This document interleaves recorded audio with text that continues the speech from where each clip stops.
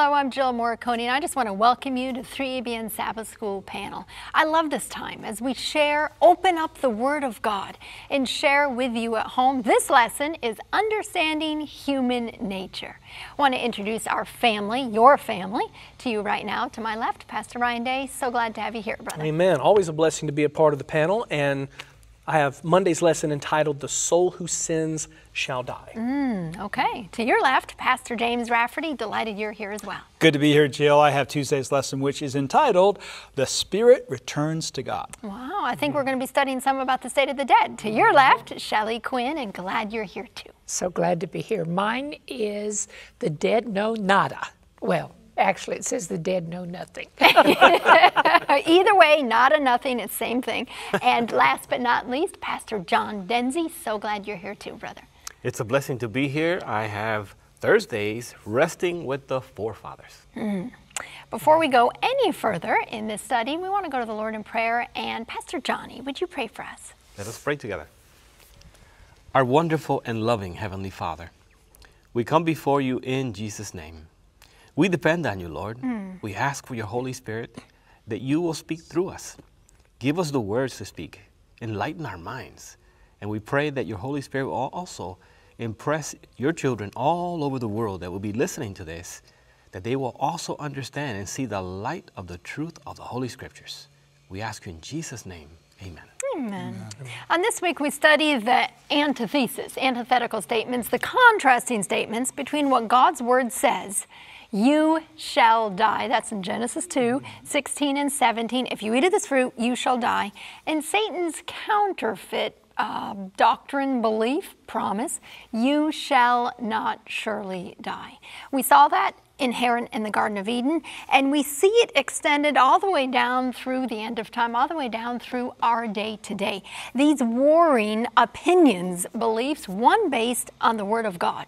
God's Word says, You shall die. This is the belief that the soul is not naturally immortal mm-hmm. and that death is, as it were, an unconscious sleep. Not meaning we're literally sleeping, but that we are unconscious, knowing nothing until the resurrection. Mm-hmm. Many of the reformers, as we studied last week, held to this, including Martin Luther and John Wycliffe and William Tyndale and some of the Anabaptists. And then we see Satan's counterfeit promise there, the doctrine of the immortality of the soul.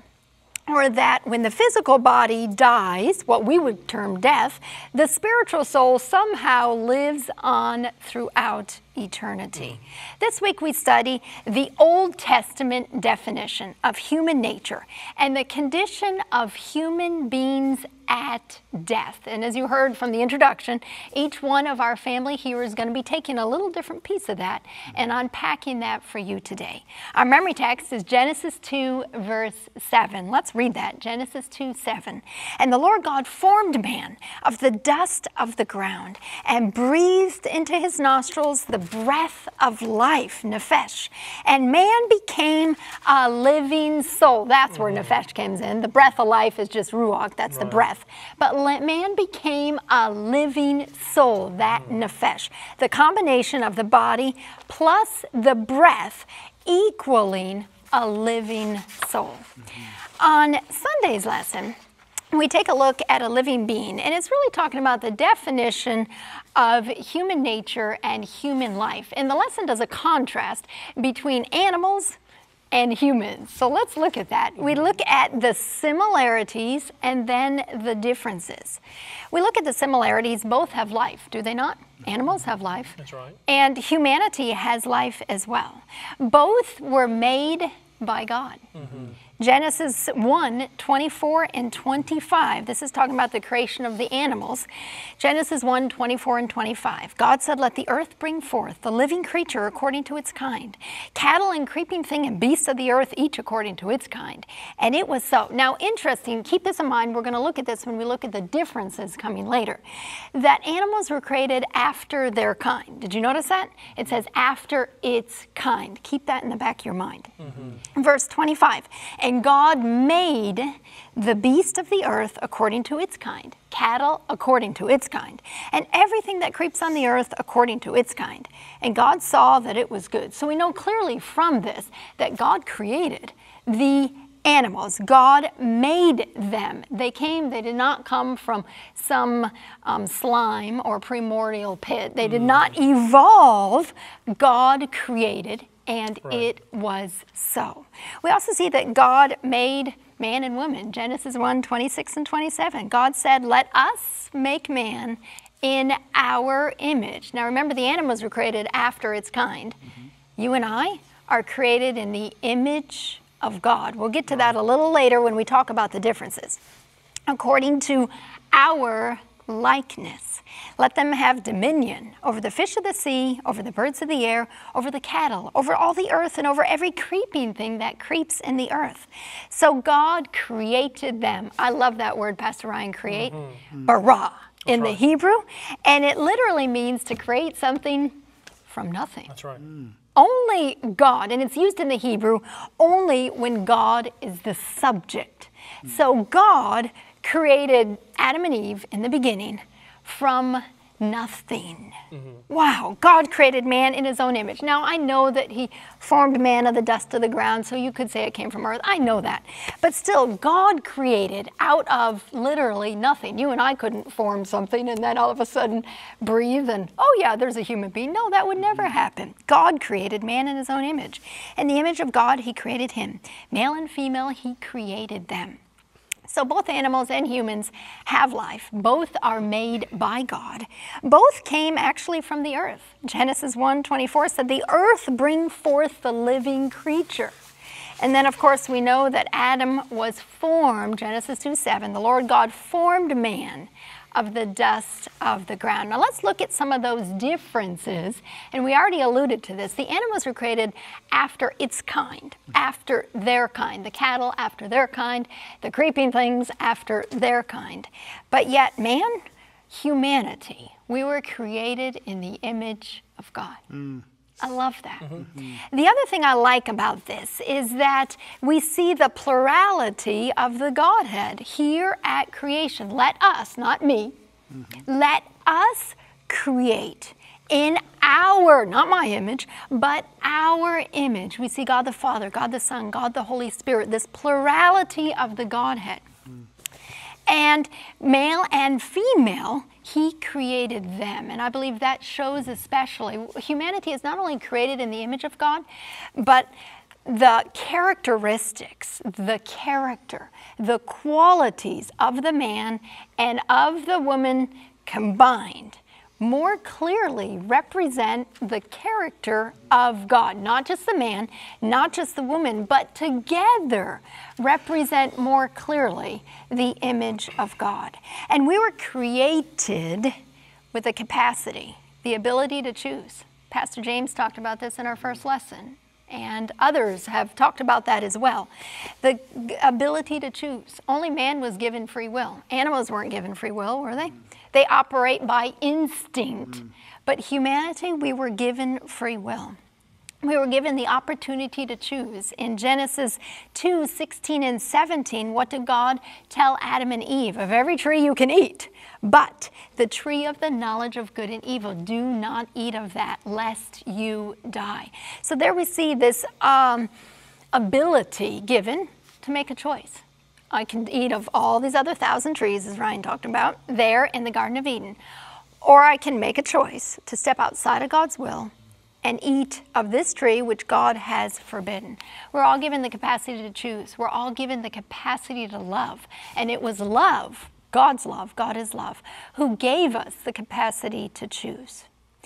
We're given the capacity for growth. Adam and Eve were created with infinite capacity to grow intellectually, morally, spiritually, physically, emotionally, created with the capacity to grow, created to reflect Christ, the image of Christ to others. Let's also look at some of those differences. Another difference we see is that humanity was given dominion.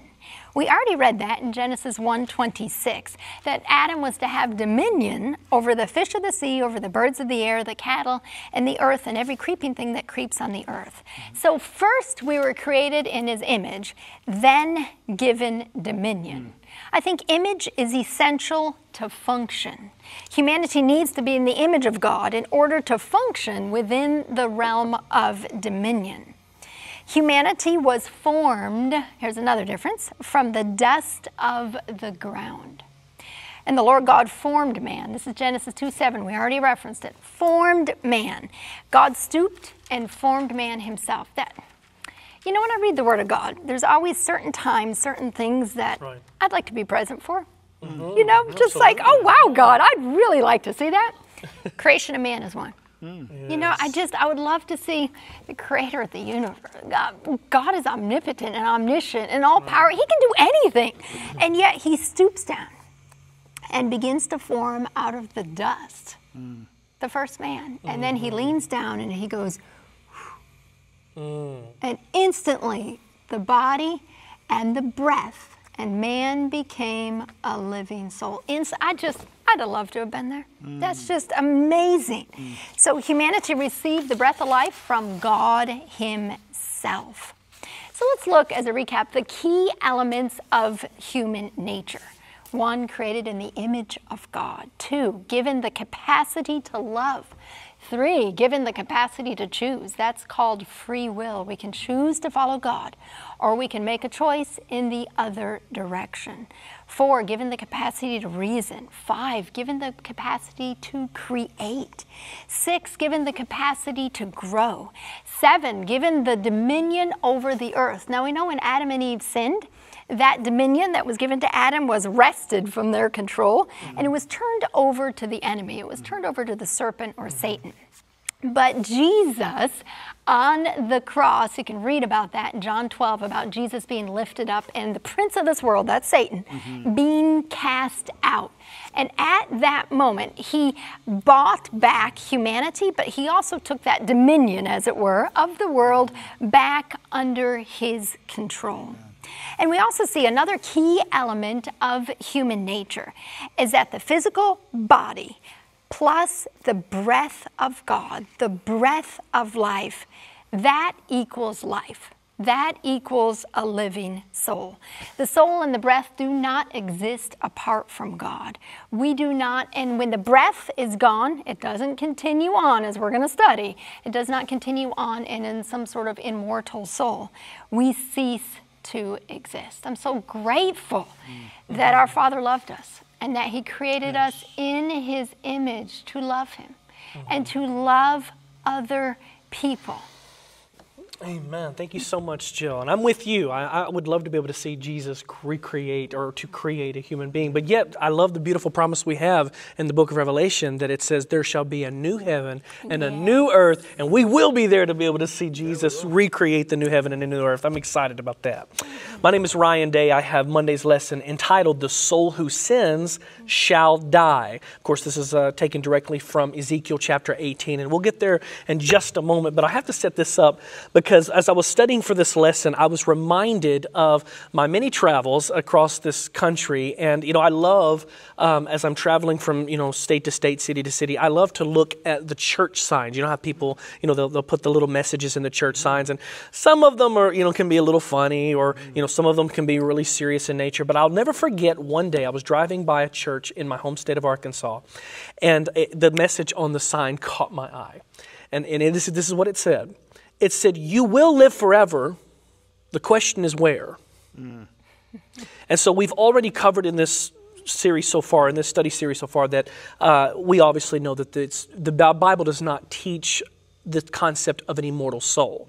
But yet, that's what this particular church and, and we have to say that the vast majority of Christianity today, especially evangelical Christianity, believes in this concept of the immortality of the soul, which we know is not biblical.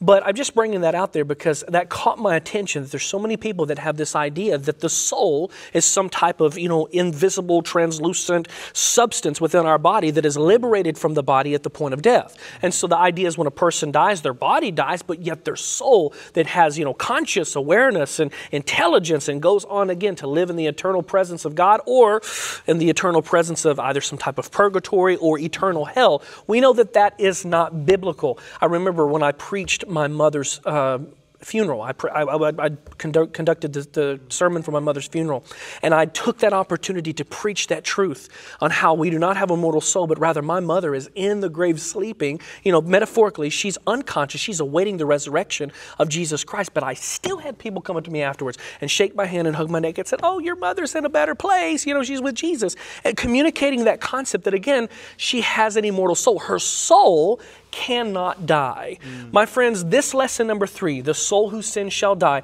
we have to deal with that text. If mm-hmm. if it is truthful that a soul can't die, but it lives forever, well then what do we do? How do, what do we do with when we get to Ezekiel chapter 18, mm-hmm. verses 4 and 20, which says, Notice this Ezekiel 18, verse 4 and verse 20. Behold, all souls are mine. I love that. God says, All souls are mine.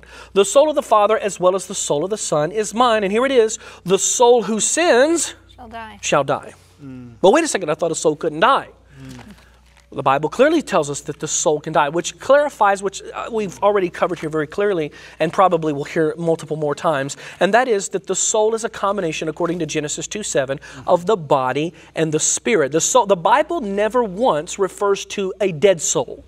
In other words, the only kind of soul that there is is a living soul, in the sense that obviously when you get to the book of Revelation, it says that the dead stand before the great white throne judgment. But yet, even that is a spiritual death that it's mentioning there. They're still very much resurrected and in their living state uh, for, so they can receive the judgment. But there's no such thing as a dead soul in the sense that, you know, a, there's a, a living dead person. I don't know if that makes sense or not. But yet, the Bible only talks about a living soul. That's the only kind of soul there is, a living soul. And so he even repeats repeats it in Ezekiel chapter 18, verse 20. Again, he says, The soul who sins shall die. The son shall not bear the guilt of the father, and the father uh, shall the father bear the guilt of the son. The uh, righteous of the righteous shall be upon himself, and the wickedness of the wickedness shall be upon himself. So the soul who sins shall die. Even Jesus communicated this very clearly uh, in a roundabout way in Matthew chapter 10, verse 28, which tends to be a controversial text to some people, especially when we're talking about the unconsciousness of, of of, you know, of death, you know, a person sleeping in the grave unconsciously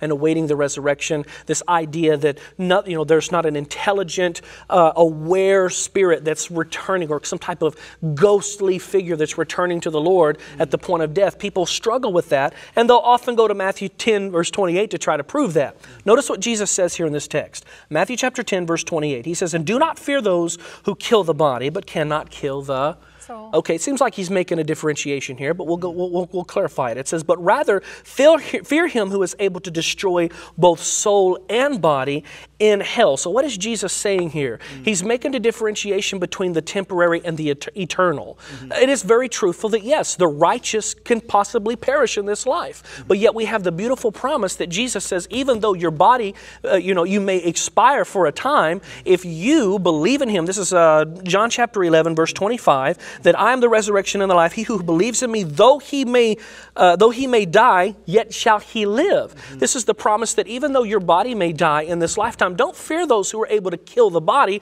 because your eternal fate, your soul, your very existence, your living, your I don't know if that's a word, livingness, your very livingness is tied up in me. Jesus says, I hold that power. And so the concept of the, the death of the body and the death of the soul, this is this is the temporary versus the eternal. Jesus is saying here that in, in, in the fact that He alone, and, and this is what Revelation 1, verse 18 tells us.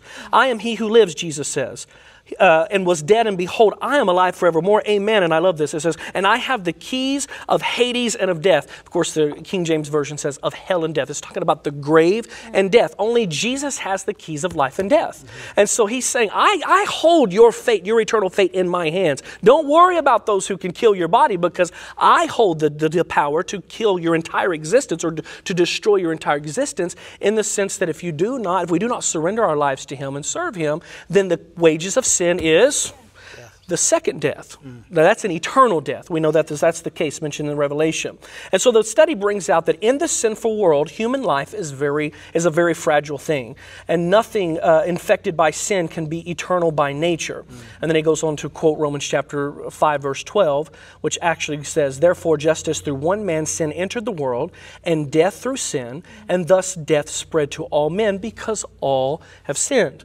And then, of course, it goes on to say, death is the natural consequence of sin, which affects all life here. And we see this even uh, communicated in Isaiah chapter uh, 40, verses 6 through 8, and also texts like James chapter 4, verse 14. So, Isaiah 40, verse 6 and 8, just to reference it here, it says, it says, The voice said, Cry out. And he said, What shall I cry? He says, All flesh is grass, and all its loveliness is like the flower of the field. The grass withers and the flower fades because the breath of the Lord blows upon it. Surely the people are grass, it says. The grass withers and the fa- flower fades, but the word of our God stands forever. Yeah. What is our life? Mm. It's a vapor. It's what does James 4 14 say? Whereas, notice, uh, you do not know what will happen tomorrow, for what is your life? It is even a vapor that appears for a little time and then vanishes away. This is a fragile thing, my friends. And we have to understand that the soul that sins, sin brings condemnation, sin brings eternal death. Uh, Ecclesiastes chapter 3, verses 19 through 20.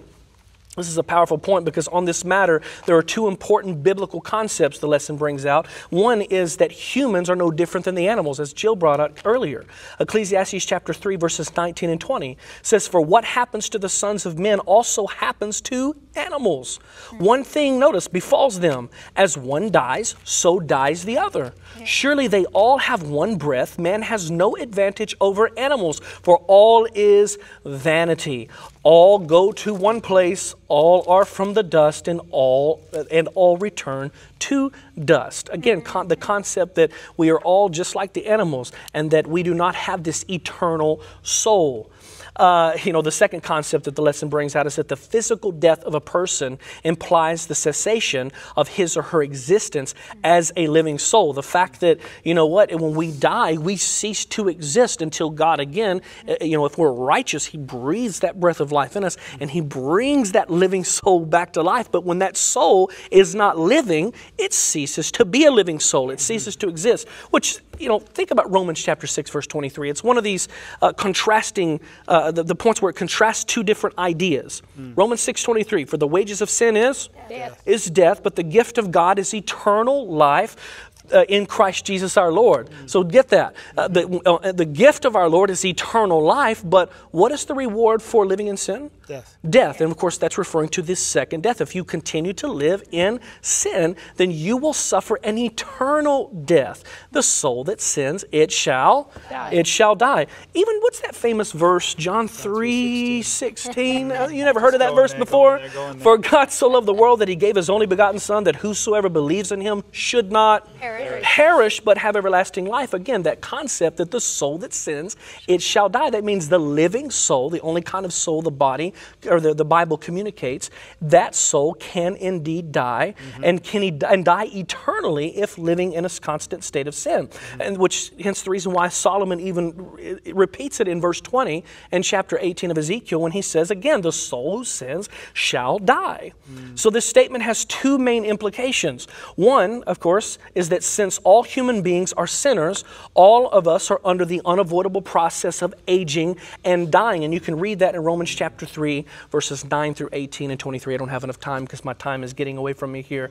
But I just want to bring out here that, you know, toward the last part of this verse, it says, in contrast, or the last part of the lesson, excuse me, it says, in contrast, the biblical solution for the dilemma of death is not a bodiless soul migrating either to paradise or into purgatory uh, or even hell. The solution is indeed the final resurrection of those who died in Christ Jesus. Remember, he says, I am the resurrection and the life. He who believes in me, though he die, yet shall he live. Amen. Thank you so much, Pastor Ryan. The soul that sinneth shall die. Mm-hmm. Great study. We're going to take a short break. We'll be right back.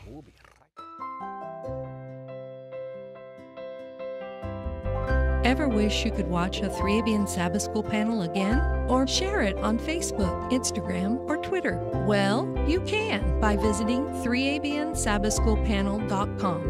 A clean design makes it easy to find the program you're looking for. There are also links to the Adult Bible Study Guide so you can follow along. Sharing is easy. Just click share and choose your favorite social media. Share a link, save a life for eternity. Welcome back to our study on understanding human nature. We'll pass it over to Pastor James Rafferty on Tuesday. Thank you, Jill. Thank you, Ryan. Tuesday's lesson is entitled The Spirit Returns to God. And it's based on Genesis chapter 2, verse 7, and Ecclesiastes chapter 12, verses 1 through 7. And again, we're just kind of rehearsing a little bit of what we've been learning about creation and death being the reversal of creation. Now, there's an illustration that I love as an evangelist to use when I try to simplify this, make it really easy to understand. So I use the illustration of a light. A lamp that gets electricity into a bulb that lights the room. I say, you know, that lamp is like the physical body, right? And the electricity is like the Spirit of God. And the light that is shed when that electricity comes into that lamp is like the soul. So when you turn on the switch, you connect, you, in a sense of death, you resurrect, but you connect that spirit, that electricity with that physical lamp. And when you connect that electricity with that physical lamp, that becomes a light. Mm-hmm. When you switch that switch off, when you turn that switch off, you're disconnecting the electricity from the lamp, and the light goes out. Where does the light go? Where is it? Right? right. It ceases to exist. Right. It ceases to exist. And so we've been talking about this idea of the immortal soul versus the mortal soul. And the Bible, of course, never says that there is an immortal soul. Right. Mm-hmm. And so these verses here are kind of reiterating that. We start with creation in Genesis chapter 2, verse 7. Again, we're just going to go back to that verse and take a look here. The Lord formed man of the dust of the ground, that's the lamp, that's the physical lamp, and breathe into his nostrils the breath of life, that's the electricity. So God is the electrical plant, He's the power plant. And when the life, the electricity got into the body, the physical lamp, there was a light. There was light that was illuminating. There was the soul. There was life. And man became a living soul. So the living soul is made up of those two parts. Now, Ecclesiastes chapter 12 reverses all of that for us. Now, Ecclesiastes 12 is really, it's, it's a beautiful picture that we see here in this very poetic um, uh, language about life and about death. Uh, remember now, verse 1 says, The Creator in the days of thy youth, while the able days come not, nor the years draw nigh, when thou shalt say, I have no pleasure in them while the sun or the light or the moon or the stars be not darkened, nor the clouds return after the rain, in the day when the keepers of the house shall tremble, and the strong men shall bow themselves, and the grinders cease, because they are few, and those that look out of the windows be darkened. Verse 4 And the doors shall be shut in the streets, when the sound of the grinding is low, and he shall rise up at the voice of the bird, and all the daughters of music shall be brought low. Verse 5 Also, when they shall be afraid of that which is high, and fear shall be in the way, and the almond tree shall flourish, and the grasshopper shall be a burden, and the desire shall fail, because man goeth to his long home, and the mourners go about the streets. Wherever the silver cord be loosed, verse 6, or the golden bowl be broken, or the pitcher be broken at the fountain, or the wheel be broken at the cistern, then, verse 7, shall the dust return to the earth as it was, and the spirit shall return to God who gave it. Now, when that spirit returns to God and that dust returns to the ground, what happens to the soul? Well, just like the lamp that is flipped off and the light ceases, it ceases to exist. The soul is the combination of the spirit and the dust. And those two coming together make a soul. Now, that cessation is going to be reversed again at the resurrection. When Jesus Christ comes to resurrect us, He's going to mm-hmm. unite again the Spirit with the dust, and that reuniting is going to bring forth the soul, renewed, glorified, right? Made immortal mm. by Christ by the power of God. So just I love to, to, to, talk about this. You know, sometimes we're, we're, a little bit nervous to talk about the state of the dead because we think, oh, a lot of people don't see it this way. We talked about a lot of Christians don't see it this way, whatever. Mm-hmm. I love talking about this subject because I was raised Catholic and didn't really understand it then, and, and then started going to different churches, different Protestant churches, and end up in the Adventist church because to me it made the most sense. I mean, just think about the whole process of um, God's plan of salvation. Mm um, you, you know, we're looking at God putting a plan B into place. It wasn't God's will that we sin. It wasn't God's will that we endure pain and suffering, all these things. But He knew it. He understood it. He's omniscient. He knew, and He put a, He put a plan of salvation in place for us. And that plan of salvation could have looked a little bit different. For example, um, God could easily have said, "You know what I'm going to do? Um, I'm going to punish the wicked as soon as they die, and just be done with them." Right? I'm just, I'm just going to do that. And, uh, and he said, I'm going to reward the righteous as soon as they die, and I'm going to bring them to heaven with me. Right? He could have he could have done that, but he didn't. Why didn't he do that? Well, I love this because for one thing, being in heaven with God while you have friends and relatives who continue to suffer on planet Earth is not necessarily the best plan. Mm, it's yeah. not necessarily That's the right. wisest plan. Sure. And so God is so wise and He's so loving, He had to come up with another plan that would allow us not to suffer any more than necessary by seeing the suffering of those that we love or continuing generations. And then, in addition, bringing justice to a wicked person without allowing those who have been victims of that person to see the justice also wouldn't be a perfect plan. I mean, it doesn't even mesh with our judicial systems today, right? It doesn't line up with our imperfect justice systems of this world.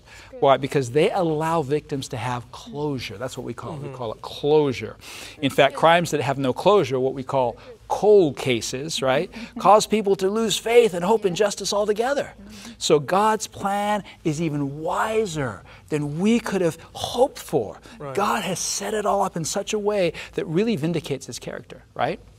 While both the saved and the lost rest in the grave, they have no uh, uh, awareness, they have no consciousness, just like a good night's sleep, you know. For us, the rest is unknown to them. In other words, death is the gateway to the first or second resurrection right? The next thing the wicked know is justice. Mm. The next thing the righteous know is eternal life. That's why God says, I, I, mean, Paul says, I don't know if I want to be present with, you know, in the body or, or absent from the body and present with the Lord. Because he's talking about this spiritual truth, right? right? He's talking about this unconscious state of death. And, you know, I think it's no wonder the devil is trying to twist this teaching, right? He's trying to distort this understanding of the state of the dead because it reflects directly on the character of God. Mm-hmm. It reflects directly on the character of God's right. love. Yeah. And that's why I love this topic because this topic has brought a lot of peace to my heart. Yes. And I think it brings a lot of peace to other people's hearts when they recognize that God has done, He has the best plan mm-hmm. for this whole sin problem. He has the best plan for our and even those who are lost, for all of humanity's understanding of how to deal with sin and how to deal with suffering. Amen. Beautiful teaching. I'm Shelley Quinn, and my day is Wednesday. The dead know nothing. I want to begin by reading 1 Timothy chapter 6 and verse 16. 1 Timothy 6:16 is talking about the King of Kings and Lord of Lords who alone has immortality. Did you get that? Right now, God alone has immortality, and it will be a gift to us, as we've studied in 1 Corinthians 15, when He returns for His people. He gives us immortality. How? I, I just take a second. I want to encourage you, I recommend a book called Hell and Mr. Fudge. It was written by a Church of Christ theologian, a, a really deep thinker, but he was commissioned to do a study on death. Well, Church of Christ teaches immortality of the soul. So this guy had to come to this, and that's what we do. If you're really a, a good student, you got to get all of that out of your mind and just say, what do the scriptures say? Long story short, what he showed was that the way this idea of immortality of the soul crept into the church. There was a pagan philosopher by the name of Tertullian. He was from Tunisia. He had been a student of Plato, who was a student of Socrates. And there was this pagan philosophy that Socrates and Plato said, hey, the soul is immortal. So when Tertullian came into the Catholic Church, he wrote a book and he brought in this idea of the immortality of the soul. The Bible Throughout the Bible, death is referred to symbolically as sleep. When we look at when uh, Jesus went in Matthew 9 25, 9 24, Jairus' daughter, Jesus said, She's sleeping. Well, she was dead. He went to resurrect her. Lazarus in John 11, 11 through 14, Jesus told the disciples, Our friend Lazarus sleeps. And they're going, Oh, yay, he's getting better. and then Jesus said, No. He plainly said, Lazarus is dead. The deacon Stephen, when he was stoned and died in Acts 7 6, the Bible, Luke wrote, he fell asleep. Mm. So the New Testament is consistent with what the Old Testament says what the Bible says about what happens when we die. I'm going to quickly go because I want to get to some new verses, but in case you haven't seen previous programs, Ecclesiastes 9:5 says, "The living know they'll die, the dead know nothing." Ecclesiastes 9:10, "Whatever your hand finds to do, do it with all your might, for there's no work or device or knowledge or wisdom in the grave where you are going." Psalm 146 4 said, His spirit, His breath of life departs. He returns to the earth, and in that very day, His plans perish. Mm-hmm. Psalm 115, 17 says, The dead don't praise the Lord, right. nor any who go down into silence. So we see here, like sleep, the dead are unconscious. Like sleep, they are resting. Like sleep, they have no thoughts. So this is a state of unconscious sleep. But here's what I want to get to Job. Hmm. Job lived during the patriarchal period.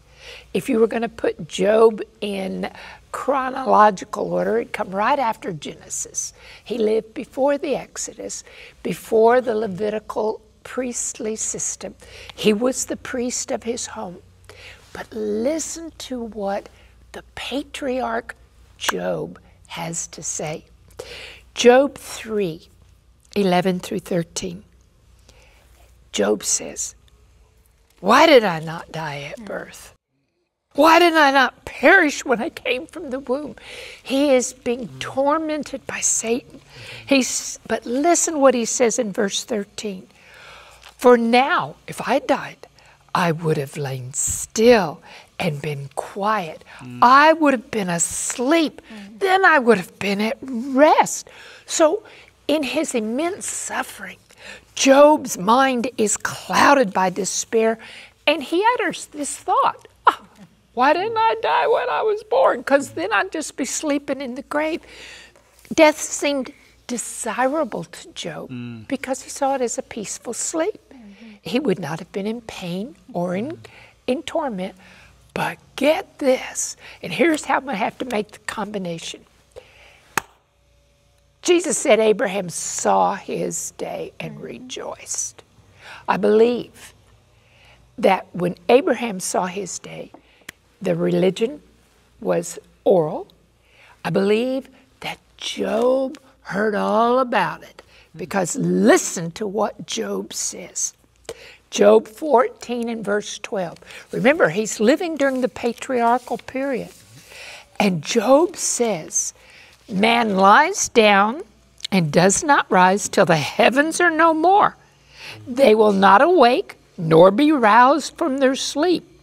But now go on to Job 19 25. He knows that until the heavens are more, until Christ comes to get us, we're just going to be sleeping in the grave. Job 19 25. I know that my Redeemer lives, and he shall stand at last on the earth. And after my skin is destroyed, after I have, the corruption has corrupted, mm-hmm. he said, After my sin is destroyed, this I know, that in my flesh I shall see God. Amen. Whom I shall see for myself, and my eyes shall behold, and not another. Mm-hmm. How my heart yearns within me. Mm. So he's saying, I know my Redeemer lives, and that he's going to come and he's going to get me. In the Hebrew, redeemer is goel. It's a kinsman redeemer. It means one who ransoms his relatives, who somebody who's under slavery, or, or we see this idea developed in uh, Numbers and Ruth and Isaiah. And then we see in Daniel 12 too. Daniel looked at people who were dead as sleeping in the dust of the earth. He says, Many of those who sleep in the dust of the earth shall awake, some to everlasting life, some to shame and everlasting contempt. And then here's something I wanted to point out. We, several people have mentioned uh, John chapter 5 and verse 28 when Jesus said, Hey, don't be surprised. The hour's coming when all who are in the graves are going to hear my voice. Some come forward to the resurrection of life, mm-hmm. some to the resurrection of condemnation. Several people have mentioned the second death. The, the resurrection of life, these are the ones in 1 Corinthians 15 53 who put on immortality mm. at his coming the resurrection of condemnation doesn't happen for a thousand years. It's a thousand years later. And we refer to it as the second death. You will find that term only in Revelation, but it appears four times in Revelation two in a positive sense and two in a negative sense. The second death is going to be the perishing, those, yeah. those who do not participate in the first resurrection, mm-hmm. those whose names are not in the book of the Lamb, they will perish mm-hmm. in the second death. When, when John 3:16 says, God so loved the world, he gave his only begotten Son, that whosoever believe in him would not perish, the word is utter destruction. Mm-hmm. So he's saying, if you believe in, there's a juxtaposition. Whoever believes in him will have everlasting life and will not perish. There's only two ways mm-hmm. the way of everlasting life or the way of utter destruction. When God does away with the sin problem. Unfortunately, it's his strange act. He has to do away with sinners, mm-hmm. but they will be burned up. Mm-hmm. That we will walk the, on the ashes of the wicked. And this is something that, to me, it brought me great peace mm-hmm. as I studied this before I became an Adventist. Mm-hmm. When God showed me this, and I realized that God isn't going, if, if my father wasn't a Christian, that doesn't mean he's going to live through eternal torment. Mm. It means he won't have everlasting life. Mm-hmm. But God is love. That's right. God wants you to accept his gift of everlasting life. You can trust him, you can call on the name of the Savior and be saved. Amen. Amen. Amen. Well, Thursday's part of the lesson is entitled Resting with the Forefathers. My name is John Dinzey, and we are together on Thursday. And this brings out two different ways in which death is expressed in the Old Testament. We are going to go to Genesis chapter 25, verse 8.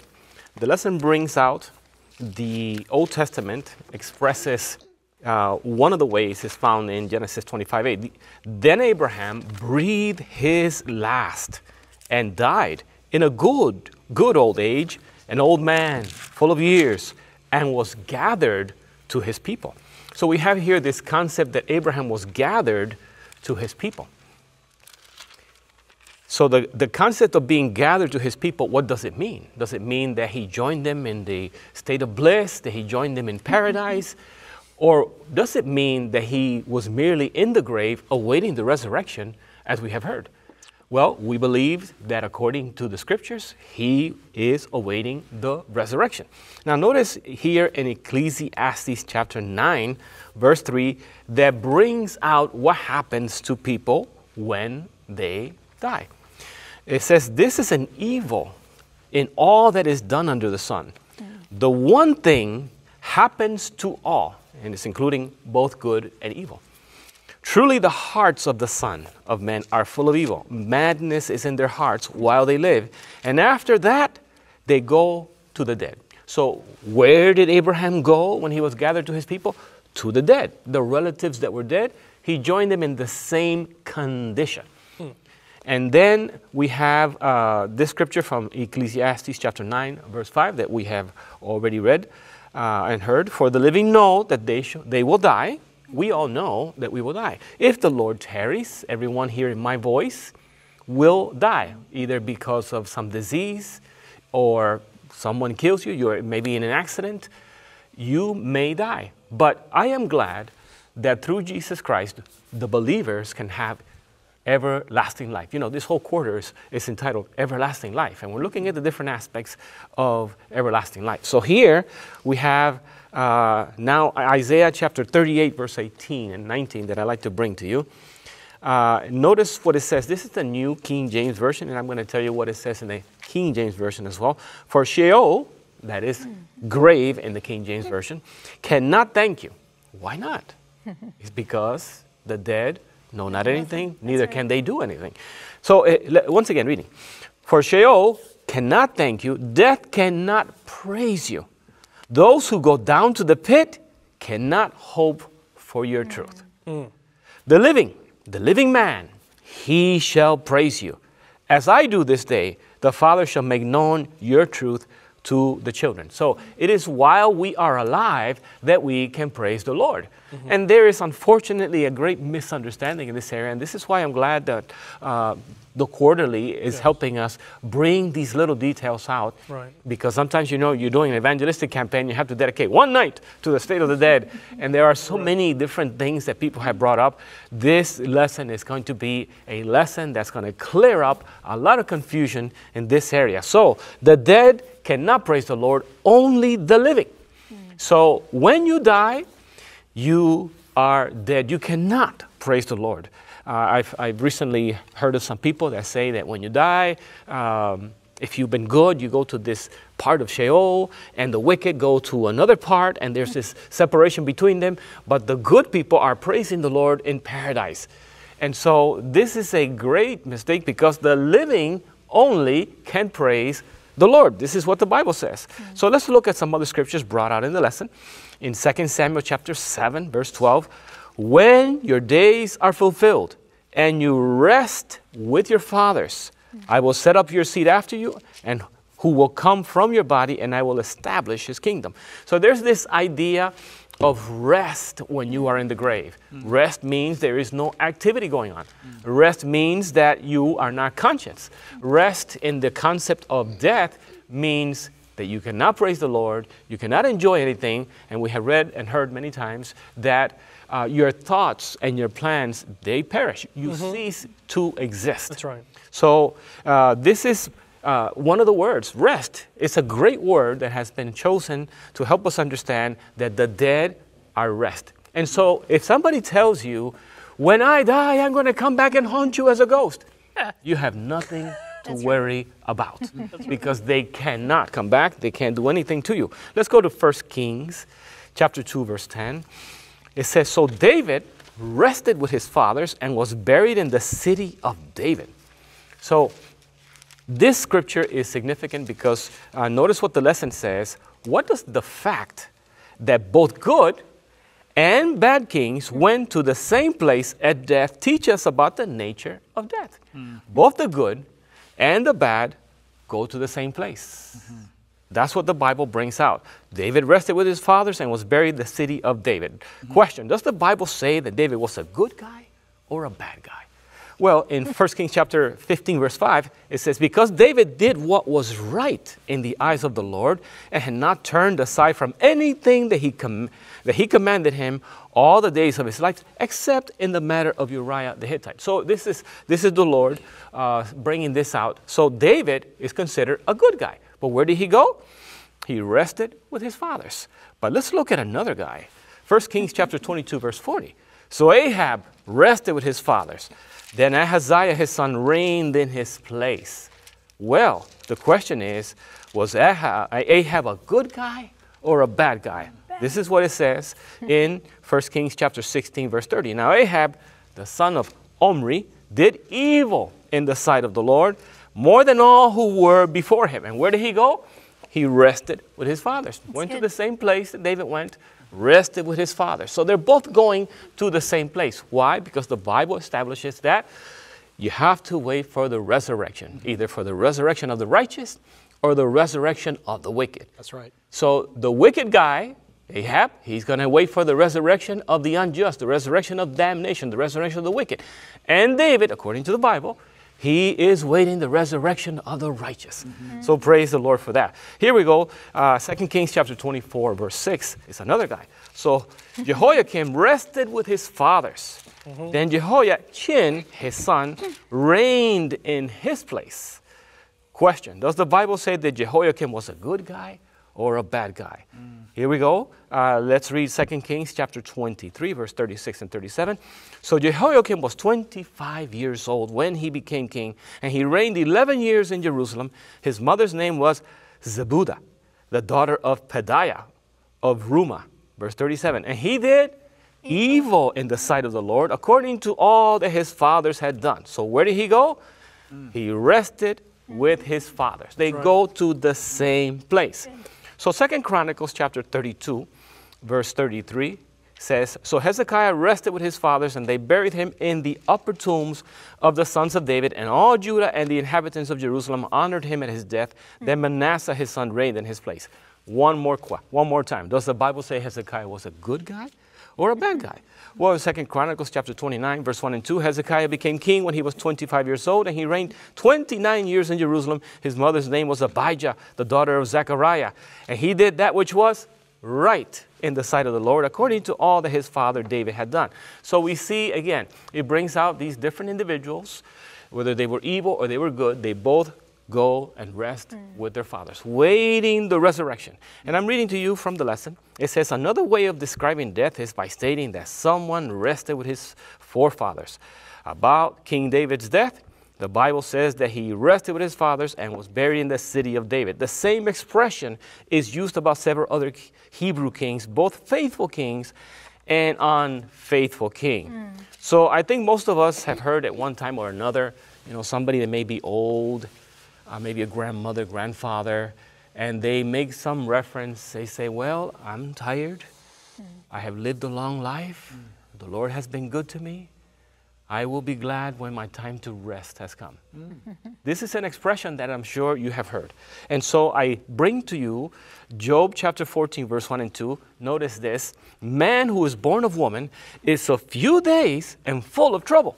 He comes forth like a flower and fades away. He flees like a shadow and does not continue. When you die, you do not continue. You're awaiting the mm-hmm. resurrection. Finally, you've heard this one from Sister Shelley Quinn, Ecclesiastes chapter 9, verse 10. Whatever you find your hand finds to do, do it with your might. For there is no work mm-hmm. or device or knowledge or wisdom in the grave where you are going. Mm-hmm. The time to praise the Lord is now. Amen. You can only praise the Lord now while you are alive. Unless when you pass away and you are resurrected and you are among the righteous, then you can praise the Lord for eternity. Praise the Amen. I love that. Thank you so much, Pastor Johnny Shanley, Pastor James, and Pastor Ryan. Thank you for the clarity hmm. with which you open up the Word of God and share. I think it has brought in, um, there's a lot of confusion on the subject in mm-hmm. various churches, and we pray as we journey through this quarter that if you're in confusion regarding this subject, that it will, the Lord will bring clarity to your mind as well. Mm-hmm. We have a few moments, so give each one of you. Absolutely. You know, I wasn't raised a Seventh day Adventist, mm. so I was raised to believe in the immortality of the soul and that people go to heaven immediately when they die. But one of the texts that really convinced me when I was studying this early on is when Jesus had the conversation with Martha, the sister of Lazarus, when he came back to resurrect Lazarus. Mm. She didn't know that yet. And so when Jesus is coming, she says, Oh, Jesus, if you'd been here, my brother would not have died. And then notice what Jesus says to her in verse 23 of John 11 Your brother shall rise again. rise again. That was a moment where Jesus could have been like, Martha, Martha, hey, look, what are you doing over here? Hey, look, your brother's up there in heaven and glory. How do you, you know, you, he, he could have said something like that. Even Martha repeated it in verse 24. It says, Martha said to him, I know that he will rise again in the resurrection at the last day. Where was she had gotten an idea of like that? John chapter 6, a few chapters before, Jesus repeats it four times in the same chapter. And I will raise it up at the last day. I'll raise it up at the last day. So that's just another indication that, yes, we do not have an immortal soul. We sleep until the resurrection mm-hmm. at the last day. Mm-hmm. Amen. You know, Ryan, I too was raised in a non Adventist uh, church. I was raised a Catholic. And John 11 re- meant a lot to me also. And there was an, another part of John 11 that I really liked. You know, d- uh, Jesus goes to the gravesite and he asks the people to roll away the stone. Right. And then he prays to the Father. And then he says, and this is in John chapter 11 and verse 43 And when he had thus spoken, he cried with a loud voice, Lazarus, come down, come down. What are you doing up there in heaven? Are you're having a good time up there, but you need to come down because, or come up, maybe come up. No, No, no. he says, Lazarus, come forth. Right. And that really opened my eyes. It really helped me to realize, you know, that a lot of times we say death is part of life, but it isn't really part of life. It's not part of the life that God promised for us. Death is the opposite of life. Yeah. And God wants to destroy death. In fact, we're told in 1 Corinthians 15, death is an enemy of God, and it's the last enemy that God is going to destroy. Amen and amen. I just wanted to point out one thing I think I forgot to say about Job. God instituted the sacrificial system in the garden. When Job came around, he was in the patriarchal period before Abraham. Job knew about the sacrificial system because he sacrificed for his kids every day. Mm-hmm. But he knew that his Redeemer lived and he would be resurrected as well as did Abraham. And here's the story 1 Corinthians 15 20. Now Christ is risen from the dead and has become the first fruits of those who have fallen asleep. For since by man came death, by man also came the resurrection of the dead. For as in Adam all die, so even in Christ all shall be made alive. When? Each one in his order. Christ the first fruits, and afterwards those who are Christ at his coming. Amen. Amen, amen. I am blessed to know that there is resurrection and life through Jesus Christ, and I encourage you that if you have not given your life to Jesus Christ, do so today. Amen. What an incredible study. I want to leave you with a verse from John 11 as well. You both referenced John 11. I love that story of Lazarus and his resurrection. Verse 25 Jesus said, mm-hmm. I am the resurrection and the life. He who believes in me, though he may die, though he may have that moment of unconscious state, yet he will live. We will be resurrected again if we die before the Lord comes. Join us next week as we look at the Old Testament hope and how we can see that even in the Old Testament there was promise of resurrection.